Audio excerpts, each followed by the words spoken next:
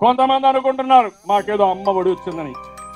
అమ్మ ఒడి వచ్చింది కానీ అయ్య పుట్టి ఏమైందో ఒకసారి ఆలోచించమంటున్నా. అమ్మఒడి పథకం అబద్ధాలతో అబాసు పాలవుతోంది.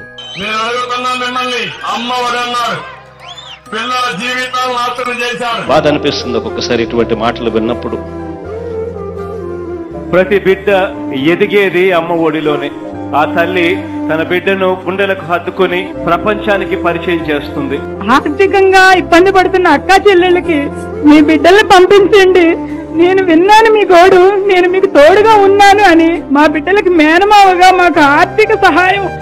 అక్క చెల్లెళ్ళకి అండగా నిలిచి ఓ తోబుట్టువుగా మాకు ఆర్థికంగా అమ్మఒడి వేసి ఆదుకున్నామన్నా this is what I strongly believe మనం ఏదైనా నెక్స్ట్ జనరేషన్కి ఏదన్నా మనం ఇవ్వగలిగే ఆస్తి ఏదైనా ఉంది అని అంటే అది చదువులు.